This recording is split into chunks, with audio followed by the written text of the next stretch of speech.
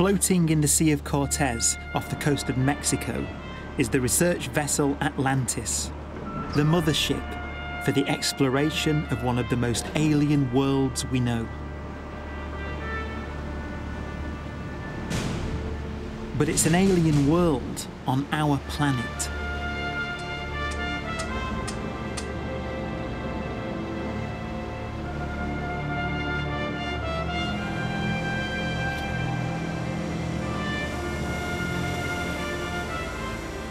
The Atlantis is the launch vessel for Alvin, one of the world's most rugged submarines.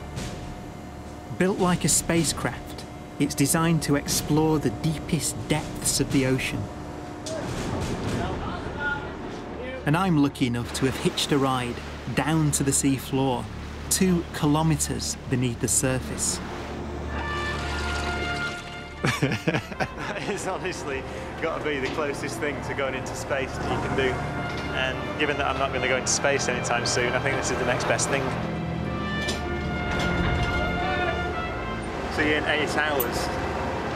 Starboard time!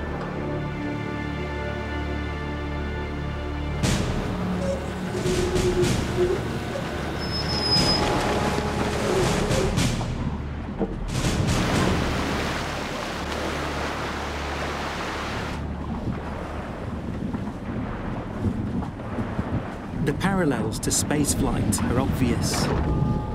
As the tiny capsule descends, we're leaving the familiar world of the surface of our planet and entering a strange, hostile world.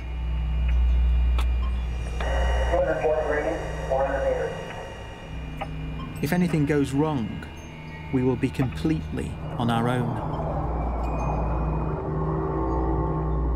It's very rare that you get to do something so challenging and so alien. To be taken to that environment in, in the very deep ocean, it's strange and silent and unusual. And it's tiny as well. Um, so there's th three people crammed into this little uh, titanium ball, which kind of creaks a bit as it goes down.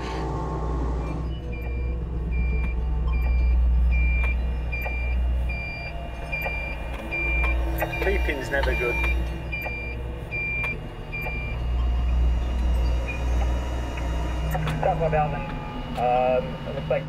At the Earth's surface, we're used to one atmosphere of pressure.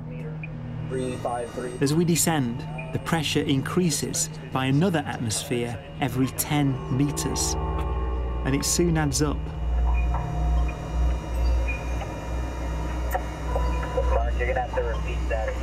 So we're just approaching a kilometre deep. The pressure outside there is now, what, 100 atmospheres? That's higher than the atmospheric pressure on the surface of Venus. Without knowing, if you were asked the question, could life exist down here? 100 atmospheres, the cold, dark, no sign of sunlight at all, it's pitch black there, you would say no. Well, I would say no.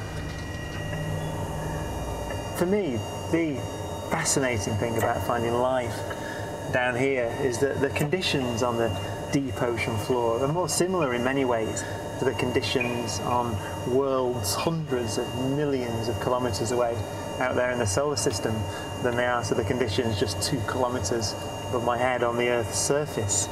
You know, it's incredibly dark, there's no sunlight, there's a brutal mixture of hot and cold water and just, well, rock and minerals.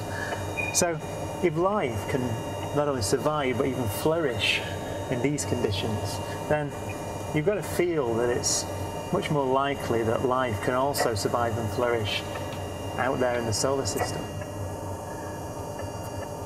One of the main benefits, I think, in looking at life in extreme environments on Earth, so-called extremophiles, is that you get a wider view of what life is and what chemical elements or compounds it produces. And that is useful because really, if you think about life subsurface on Mars, for example, if it exists, we really don't know how that life would behave.